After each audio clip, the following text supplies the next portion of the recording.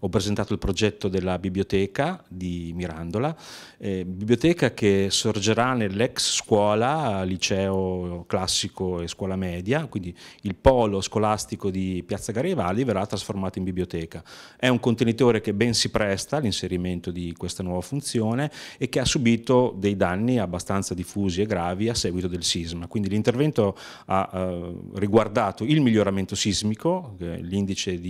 viene portato oltre il 60% come tipicamente si fa per gli edifici storici vincolati e nel contempo viene trasferita la biblioteca. In realtà la biblioteca è uno degli elementi del progetto perché il progetto riguarda la trasformazione di quel comparto edilizio in un polo culturale e quindi ci saranno spazi espositivi, ci sarà una caffetteria, ci saranno sale di lettura, ci sarà una emeroteca, eh, ci sarà una biblioteca dei ragazzi, ci sarà una ludoteca, quindi tanti spazi che trasformeranno quel comparto in un pezzo di città eh, che in questo momento vive una difficoltà in un nuovo polo di attrazione. Questo intervento è oggetto in parte per circa una metà del finanziamento regionale por sisma. Il finanziamento regionale copre ciò che è il miglioramento sismico, cioè l'intervento strutturale sulla struttura portante e la riparazione dei danni sugli elementi non strutturali portati dal sisma. Però normalmente questi interventi sono anche l'occasione per riqualificare l'edificio, quindi anche nel nostro caso,